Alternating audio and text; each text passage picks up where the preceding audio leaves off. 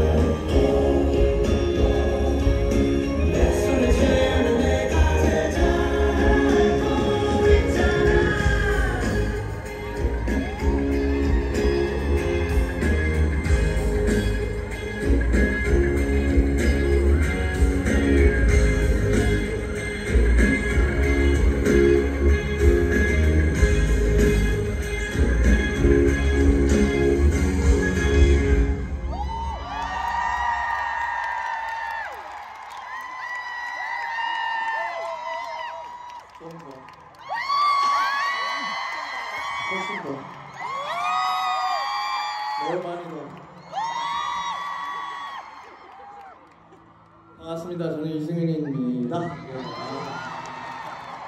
일단 먼저 사죄의 말씀을 드리겠습니다.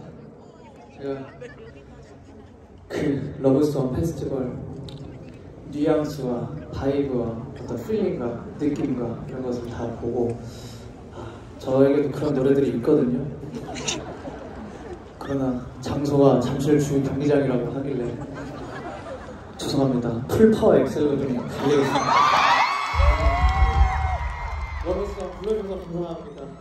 풀파워 엑셀 가겠습니다. 고!